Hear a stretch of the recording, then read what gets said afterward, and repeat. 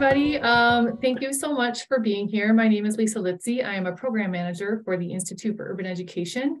Um, and we are going to go and get started right away. Um, and so the first thing that I'd like to do um, with you today is sort of situate this uh, session around students.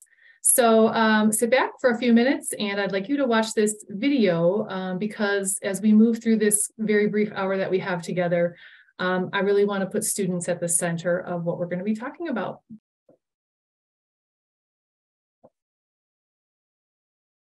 Culturally responsive education for me is the understanding that children are people and without building relationships and without understanding children, we can't teach them.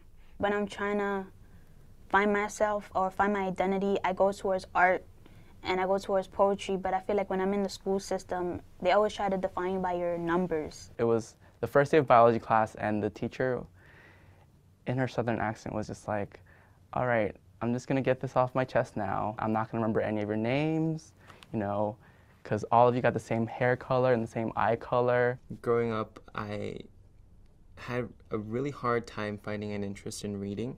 A lot of the literature that we read talked about topics and experiences that were not that relevant to me. The closest we would come to was probably the narratives of immigrants who came from Ellis Island, but even then, there was still some kind of disconnect.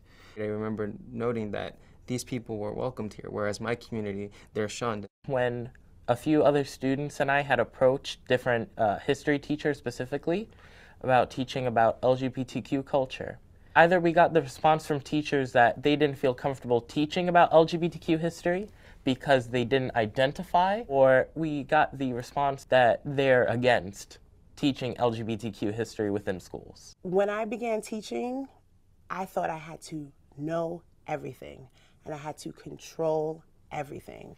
I need to assign your seats, tell you when you can get up, lecture to you, write down all of these things, regurgitate it back to me. And if you did that, fantastic. And nothing about your culture was welcomed into the classroom. Yo he vivido en carne propia, yo he visto y escuchado cómo los maestros hablan de los niños. Cada día dice, llegan los niños y no traen un lápiz, o a veces no traen los cuadernos, y muchos niños llegan con hambre, muchos niños llegan con problemas en el hogar, y yo no tengo tiempo para estar tratando con esos niños. I had over an hour and a half commute every day just to get to middle school in eighth grade. And I was always late. I was always late. I was always sleeping. I was tired. I was depressed. And not once did he ask me why. My parents stopped going to parent teacher meetings in middle school. A lot of the teachers just went with that, right? That they didn't think, okay, well, this 12 year old is filling out all these forms and also just signing her parents' name. There was no effort to make them a part of this world. En una conferencia de padres en el primer grado, estaba teniendo dificultades para la pronunciación de algunas palabras. La única pregunta que ella me hizo fue que qué idioma hablábamos en casa. Así que cuando yo le contesté que todos hablábamos español en casa, ella dijo que probablemente ese era el problema y ella no tuvo ninguna otra respuesta. In New York City, 85% of students identify as Black, Latinx, or Asian. We know that across the country and in New York, 60% of the teaching force is white. There were a couple black teachers, guidance counselor, assistant principal that came into the school and often left like within a year. We are often asked to be the dean. And of course, if we're not the dean, then we're the assistant principal who takes care of discipline. You're not letting us build those relationships. The way that we've been teaching comes from the 19th century factory system. When we say decolonizing our practice and decolonizing education, it is first questioning what you think is normal and right and the way that it should go. Question Where did this come from? When was the last time a student learned about Haiti? When was the last time a student learned about Colombia? Mm, por ejemplo, mis hijos sí han viajado a México, han tenido la oportunidad de convivir con la familia que está allá y hay tantas cosas que cada vez que van ellos vienen sorprendidos porque no la conocen. y va más allá del, de la de los tacos y de los mariachis. I want everyone to be able to know, along with myself, about my heritage. I want people to be able to say where they are from without it having to be kind of like a personal question, a question that you ask a friend. The way you teach, how you teach it, and why you teach it. From what perspective are you teaching? The biggest thing is that people, educators, don't want to address race, gender, power, and privilege. I remember one time uh, when I first began to get South Asian students into the classroom. There was a young girl who came to the classroom, and her parents had put mehndi on her hand. I said, "Oh, honey, you shouldn't be writing on your hand." And then she explained to me that it was part of um, the celebration for either Eid or Diwali. I had to reach out to the families to find out what it was about, understand their culture a little bit more. Um, I tried to bring in a way that we could celebrate those cultures into the classrooms. Welcoming families in, having um, teachers and staff come out of the school building to really learn about the communities that they're in. Muchos padres eh, deberían de involucrarse porque nuestros niños están sufriendo, porque mis hijas mismas al verme a mí involucrada y con la pasión, ellas se apasionan. As our country is becoming more and more diverse, we need to use the indigenous practices of storytelling, of music, of conversation. It's not like I have 52 different countries and three languages, so I have to figure out how to CRE. No. All of those students come from an indigenous culture that values community, that values cooperation. And that's how you start to engage students in CRE. We created an all boys class, and we also created like boys reading groups at that time. They read Decoded by Jay Z, which is his memoir, and they also read the autobiography of Malcolm X. I don't think it's a it's a coincidence that that was also the same year that we just shot up in terms of our academic growth across the board. I've been very fascinated with the idea of students doing the teaching.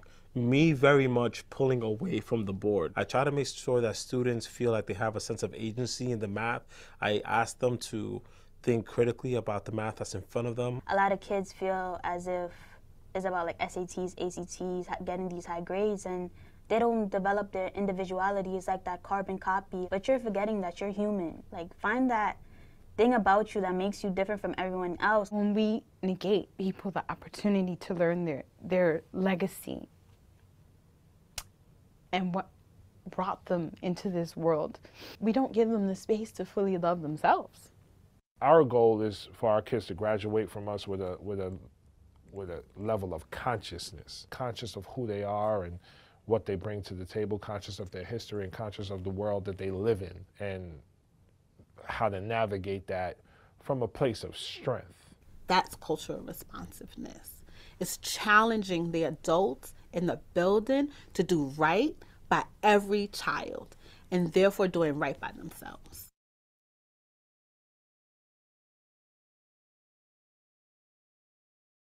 All right. Um, so take a moment to uh, just have like a turn and talk with the person around you. Um, and what are your thoughts? Um, how did that video impact you? So I'm going to give you about two minutes. I'm going to put on my little timer.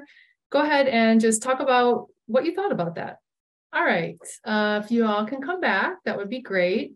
Um, so the reason that I showed that video um, is that I really wanted to put students at the center of this session. And they talked about culturally responsive education and the Institute for Urban Education, that's sort of the uh, foundation of what we do. So um, as we move on, I'm just going to quickly tell you a little bit about who we are, who, who is the IUE. Um, we are a UW Milwaukee um, grant funded uh, program that lives at UWM, and we, for clinical placements, offer student teaching and internships. So um, we offer student teaching in Milwaukee, Waukesha, Racine, and West Allis. And then recently we have internships in Racine, West Allis. And starting in fall of 2023, uh, Milwaukee Public Schools is also jumping onto the internship bandwagon. Um, and so, as you can see, um, most of these uh, student teaching and internship opportunities accept all grade levels and content areas. One of the things that we don't do though is dual placements where you have to split nine weeks and nine weeks or 18 and 18. Um, most of them, we have a, a really brief IUE application. Um, you know, uh, if you want an internship, you have to be recommended by your campus uh, uh, clinical coordinator. And there's a few more, it's a little bit more accelerated teaching responsibilities. But um, if um, people decide to come through the IUE, they get eight um, biweekly culturally responsive practices cohort sessions um, and supervision is usually provided. So just in case you didn't know what the IUE was, that's who we are. And we take students from all different UW system schools. Um, most students decide to do this because they either want to end up in the southeastern Wisconsin corridor of the state, or maybe they are from there and would like to teach in an urban school district, but these are the districts that we partner with. Probably wondering who I am. Um, I have worked for 20 years in Milwaukee Public Schools prior to this role. I spent nine years teaching fourth grade and then sixth through eighth grade science with most of my time in seventh grade. Once my principal put me up into middle school, I did not want to go back down. And a lot of people say I'm crazy for loving middle school, but I absolutely fell in love with middle schoolers, even though they're unstable. um, after teaching for nine years in a very high needs school, I went on to mentor new teachers and train new mentors for the next 11 years for Milwaukee Public Schools. So I mentored teachers in everything from K3 to high school physical education. So it was good teaching is good teaching. Um, and you all know what you're teaching. It's all I did was help with the theory into practice. And then I've been working for four and a half years with UWM uh, with the Institute for Urban Education. And the three pictures on the slide are my children, um, and they are my reason for doing what I do. And on the top is my um, soon to be 15 year old Addison. This is Bria. And on the bottom is my 18, almost 19 year old in February, Jalen. Um, and so a lot of uh, why I do what I do is for them. All right, so let's get started. Um, you guys are going into your student teaching at sort of a, a odd time, right? Um, next week or in the next couple of weeks in January, where these classes have been functioning now for an entire semester. The person that is hosting you may or may not have had a student teacher uh, in the fall semester. Um, but because uh, things are already in motion and systems have been put into place and you're really coming in mid-year, we really want to think about how you can create some really great connections with your students because you're not starting at the beginning of the year when teachers do a lot of get to know you things, right? So we're going to talk a little bit about how to do that today. All right, let's break it down. Let's just look at a definition, right? What is authentic and what is connection, right? So authentic meaning be genuine, be real, be true, be meaningful, and be your original self. Connection, definition, relationship, interconnection, bond, tie, or attachment. An authentic connection is a genuine connection with someone else. You drop the facade, you show some vulnerability, which is not always easy to do as a teacher because you have to be the one in charge, but it's really sharing some pieces of one's true self. And ways to begin creating those connections include sitting with somebody else's emotions, showing interest in them, and listening deeply without a motive. So what I'd like you to do is take a minute and just talk to somebody near you about who was your favorite teacher? Like who's your most memorable teacher from school? It could be from K to 12. And do you feel like they were memorable because you had an authentic connection or not? And have you had authentic connections with any of your teachers? So turn and talk to somebody either behind you or next to you. I can actually see you guys now. Hi. um, so take um, I don't know, let's take like three minutes and let's share. Hopefully you had some good conversations around who you your favorite or most memorable teachers were. And chances are it's because you had some sort of authentic connection with them, right? And so why are they really important? Um, so research shows that you know the quality of our relationships are directly linked to your happiness, your well-being, your self-esteem. Children really learn best when they feel seen, heard, valued, and safe. And the honest truth is that kids aren't going to learn much, if anything, from people that they don't trust, right? Or people that they don't know very well. So there's a there's a foundation for why it's really really important to try to have close relationships with all of your students. But with that being said, before we th- think about how to create these relationships, there's a few things that you just want to keep in mind, right? You're going in in January. These students already have a relationship with their primary teacher, right? And potentially maybe a student teacher who was there before you. But it, building these authentic relationships takes some time and some effort, right? So it's not an easy thing necessarily all the time. Sometimes it is effortless. You've met people like that in your life where you just click And it's going to be like that with some students, but it's also not going to be like that with some students. So just because you have a strong relationship with your students also doesn't mean that you're not going to have management or behavior issues. We all have our days. Um, relationships are a start, but are alone not enough to carry you with your management and your behavior strategies, right? That you've been thinking about from your classes and your previous experiences. Um, you and your students are going to still make mistakes. So have grace on yourself and have grace for the students. And this is so true. And even the best teachers can't always form strong, authentic relationships with every student. There's just some students that no matter how much I tried, you know, we just didn't connect on a really, you know, profound level. But but one thing is, is they can never know, right? They can never know that you're just not quite there. So you got to just try your best. And then th- these relationships involve forgiveness, acceptance, some give and take, and the willingness to work at it. And really, as an adult in the classroom with children, it, the onus lays on you. You're the person who really has to model that forgiveness, acceptance, the give and take, and model the willingness to keep working at it, right? Because you're going to be tired. You're going to be overwhelmed and you're going to want to just be like, I can't, I don't have the energy to do this but you have to sort of dig deep and try to figure out how to problem solve through some of the things that are happening and relationships are the doorway to being able to do that.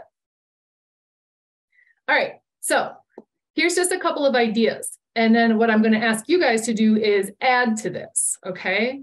So when it comes to being authentic just remember to be yourself. Students can read directly through you essentially, I mean, they literally will size you up in probably the first two minutes that you're in that classroom. Doesn't give you a lot of time, but they can really see through you.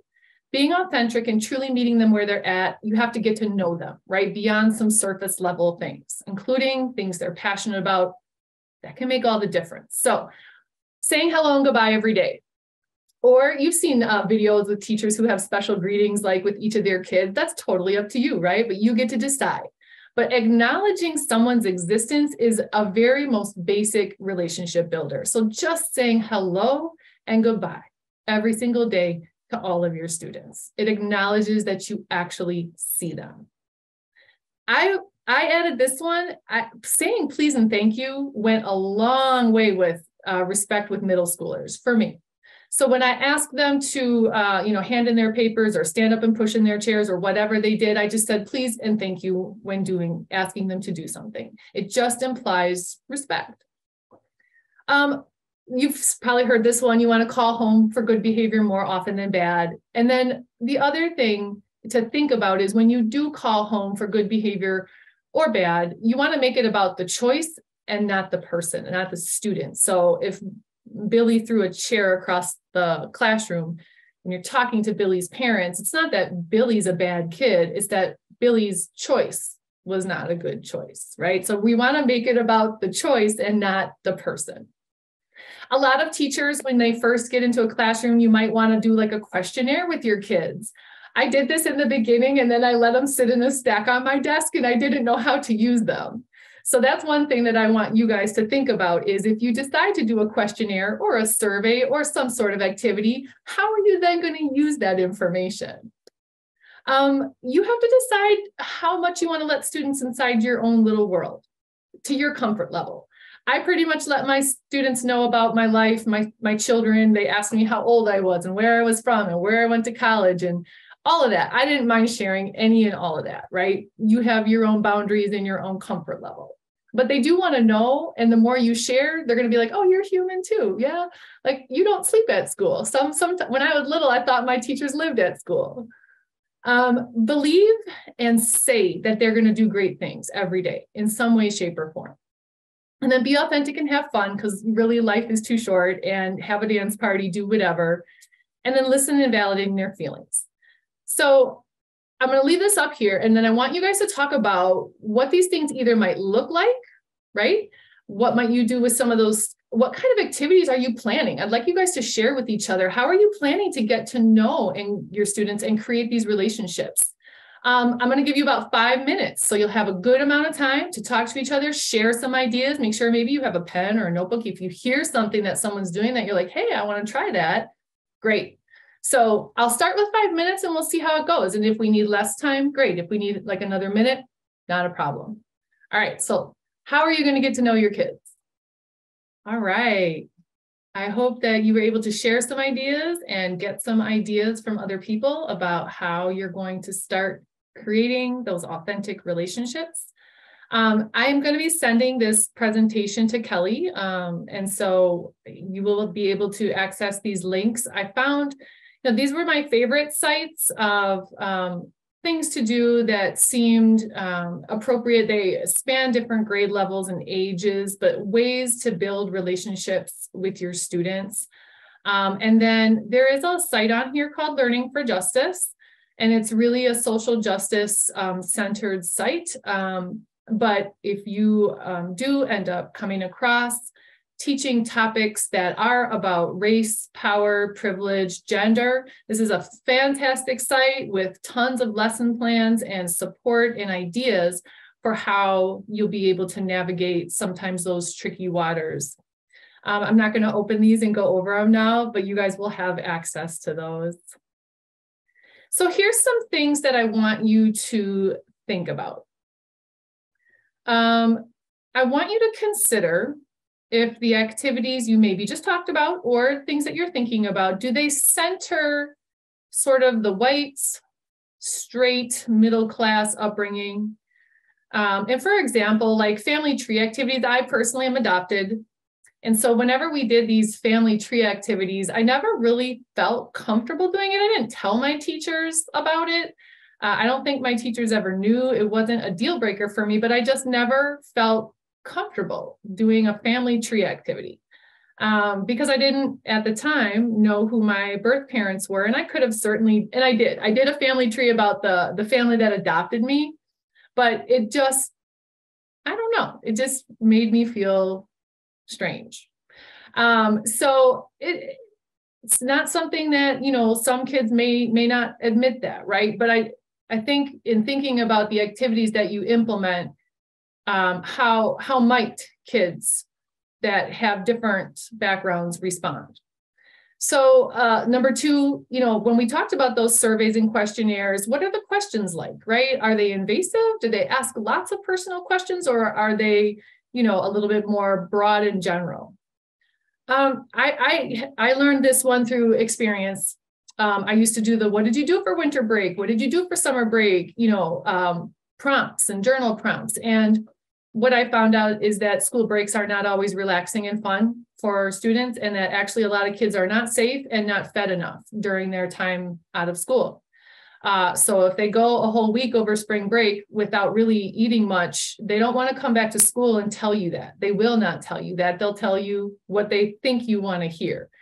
So I just want you to be mindful of thinking about uh, putting kids in those positions. Uh, again, assuming that they have a mom and dad in the home or a mom and dad at all, right? Um, lots of different family structures. And this, all of these things I want to tell you transcend race, right? They are across racial groups, they are across socioeconomic groups. So we're not just talking about uh, Black students or Hispanic students or Asian students. We're we're talking about all kids here, right?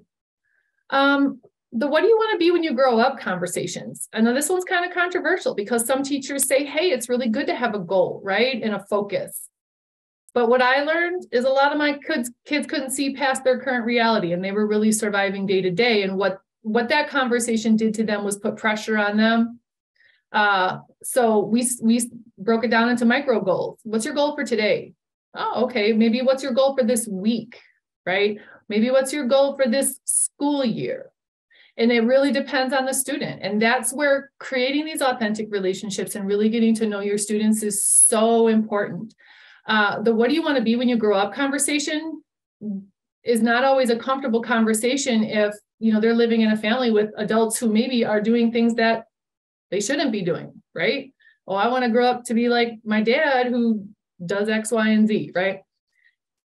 Number six, gender assumptions of activities. You know, that sort of a, a lot of books, you're going to find it as you start looking at your curricular materials, depending on who the, when they were published.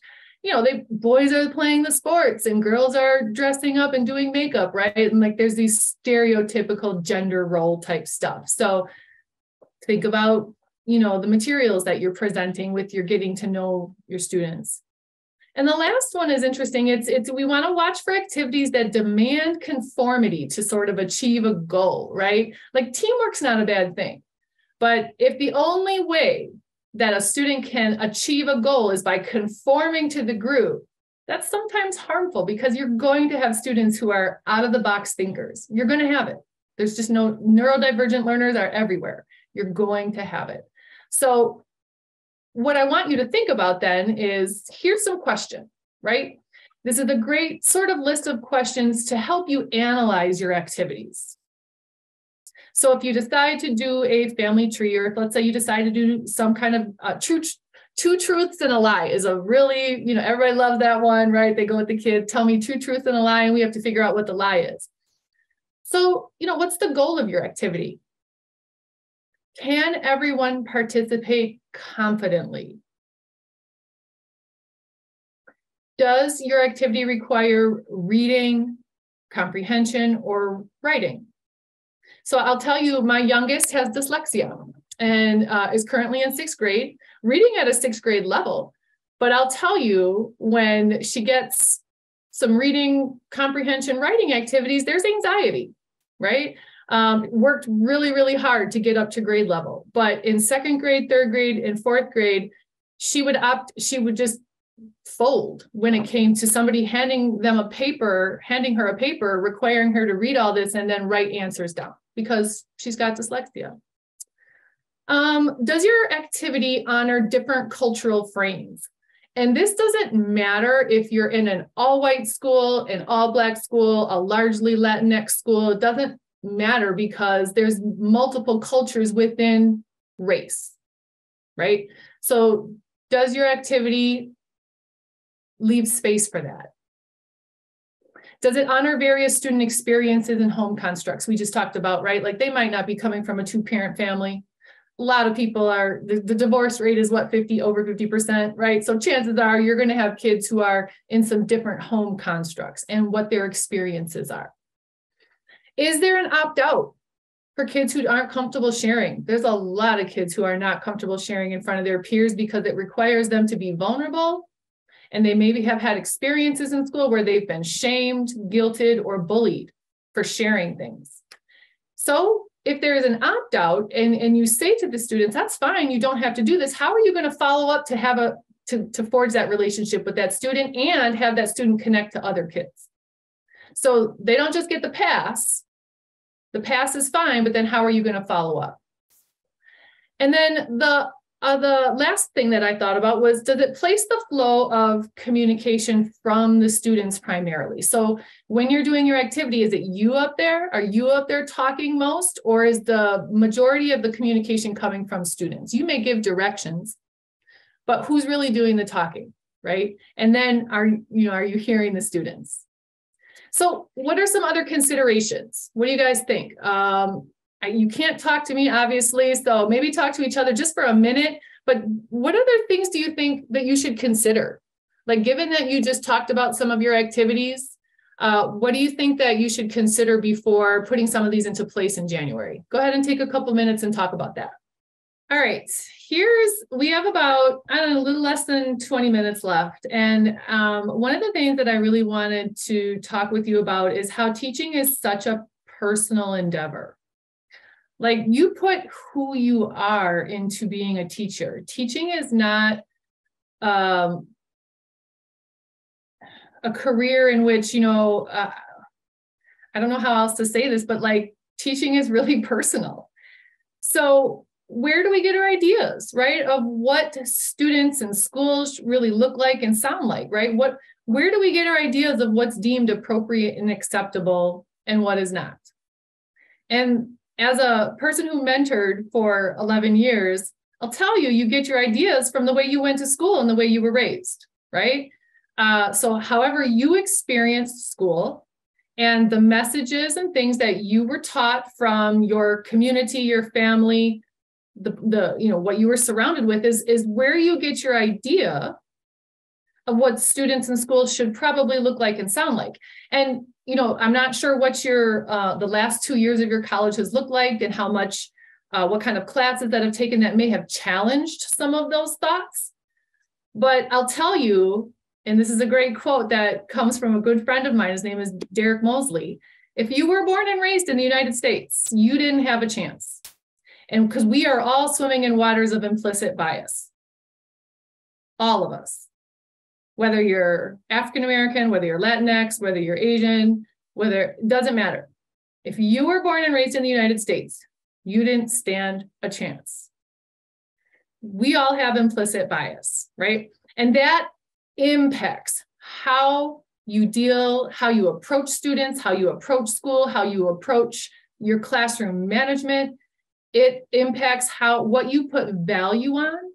So if you remember the one of the students in that video said, you know, teachers sometimes are just so focused on numbers, right? And achievement.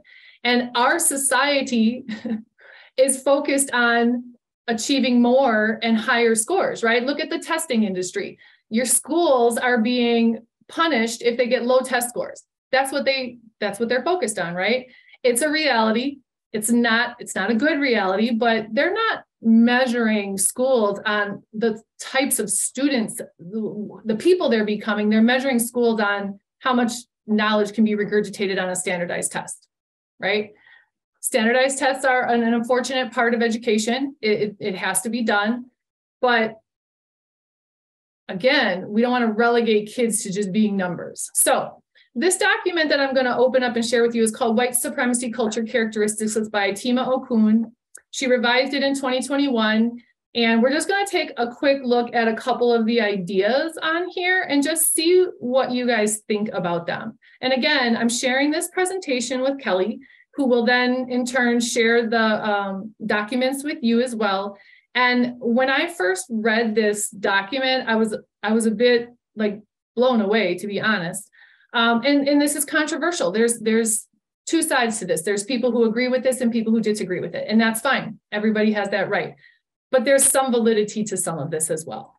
Tema Okun um, came up with this sort of list of white supremacy culture characteristics, and I'm just going to scroll through. This is, you know, she gives you sort of the the background around you know why she calls this white supremacy culture characteristics and if i'll just read this quick part to you the, the term white supremacy really refers to ways in which the ruling class elite or the power elite in the colonies when the united states was formed um, used this pseudo-scientific concept of race to create whiteness and like a hierarchy of racialized value, right? So what, what they wanted to do was obviously they thought white was the best, right? Like pseudo-scientific concept of race. And they did that to disconnect and divide white people from Black, Indigenous, and people of color.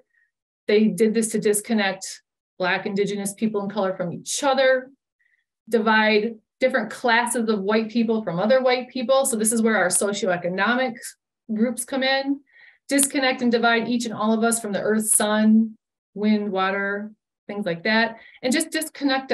It's, it's really just meant to disconnect, right? And the power elite constructed this to define who's fully human and who's not. There's a lot more on here, but we're gonna, I just wanna show you what some of the characteristics are. So, mm, perfectionism this is something that I think a lot of us are brought up with that is that there's this one right way to do something, right? Um, and when you have kids who are neurodivergent learners, or you have kids from different cultures or kids from different races showing up, expressing themselves in different ways, it's going to go against what you've been taught, what you've learned, right? The way you grew up. So thinking about this, you know, perfectionism is is you know, little or no appreciation expressed among people for the work that others are doing. Um, a lot of times it's more common to point out either how the person or work is inadequate. So when you're looking at student work, instead of saying you got this one and this one and this one wrong, it's that's the more common thing to do, right? Is to draw attention to immediately what was wrong instead of, hey, you got all of these right. Let's work on these other three. So it's a real subtle shift of the way that you see things, right? The other one that I wanted to show you, and so so how this document is set up is it goes over the characteristics and then it also gives you antidotes, right? So what can you do to combat perfectionism or the run, one right way? Um, but the one I really wanted to show you that I feel like really speaks to teaching is this progress is bigger and more and quantity over quality. So I remember when I first started teaching, my principal was like, you got to get through the book. You got to get through the math book, right? Like that's just it. And so it was quantity over quality. He didn't want me to go in depth in mathematical concepts. He wanted breadth. Cover as much as you can, get through the book. It was his message to me. So these characteristics really kind of, you know, like they get at our assumptions that we have to do more, be more, and get more done in order to be successful, right? So, how's that defined? It's, it's basically how we define success, isn't it?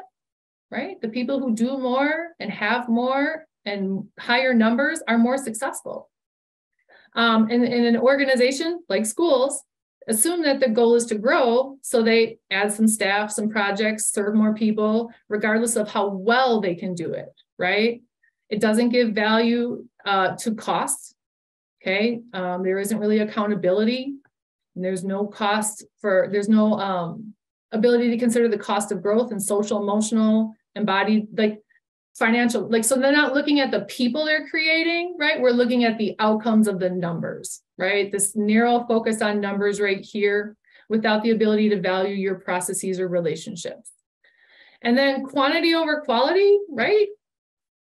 Most or all of the resources are directed towards producing quantitatively measurable goals. I'm sure you all have to do educator effectiveness next year or like at some point, right, when you become a teacher, and they're going to tell you you have to have measurable goals, SMART goals. You've all been told SMART goals. And I'm not saying don't do it. That's not what I'm saying. I'm simply saying I want you to sort of put on some glasses that let you look at things from different ways, right? Because our educational system is is not the best in the world and it definitely needs some changes and it's really going to start changing with the the teachers that keep coming up. If you start looking at things in a different way and start challenging some of these things when the opportunities present themselves. So you're going to have access to this document um, and you'll be able to take a look at it and sort of what i'm asking you to do with this document is to think about um, what does it mean to you, right? Like, how do you, is there one of these characteristics that potentially resonates with you in your teaching? And that is the very small part of like how you can get started in thinking about your teaching career when you have your own classroom. And even when you go into this student teaching um, uh, placement that you're about to start, it's how can I just look at things a little bit differently, right? Um, all right. Uh, that is all I have for today. Um, Kelly, I'm not sure if you wanted to jump in and say anything else.